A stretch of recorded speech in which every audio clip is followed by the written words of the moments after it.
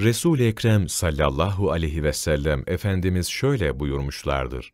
Şüphesiz Recep, Allahu Teala'nın kendisinde sevapları katladığı, tevbe edenlerin günahlarının silindiği, duaların kendisinde kabul edildiği ve sıkıntıların kendisinde açıldığı büyük bir aydır.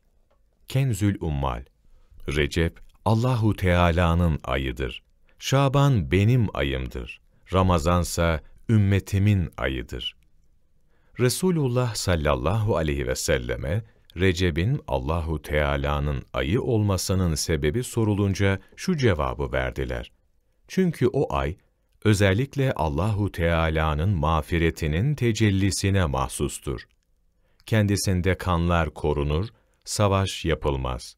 Allahu Teala peygamberlerinin tövbesini o ayda kabul buyurmuştur.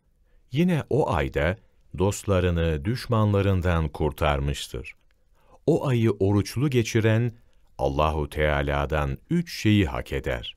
Bunlar da geçmiş bütün günahlarının bağışlanması, kalan ömründe günahlardan korunması, Allahu Teala'nın huzuruna çıkılacak en büyük arz gününde susuz kalmaktan emin olmasıdır. Camius Sayr Resulullah sallallahu aleyhi ve sellem buyurdu ki, her kim Recep'ten bir geceyi ihya eder, gününü de oruçlu geçirirse, Allahu Teala ona cennet meyvelerinden yedirir. Cennetin yeşil ipeklerinden giydirir ve cennetin halis olan içeceğinden içirir.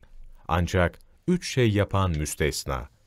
Bir şahsı öldüren, Allah aşkına yardım edin diye gece veya gündüzliğin Allahu Teala adıyla yardım isteyeni işitip de ona yardım etmeyen, Müslüman kardeşi kendisine bir sıkıntısını şikayet ettiği halde, maddi gücü varken ondan sıkıntıyı gidermeyen, Deylemi.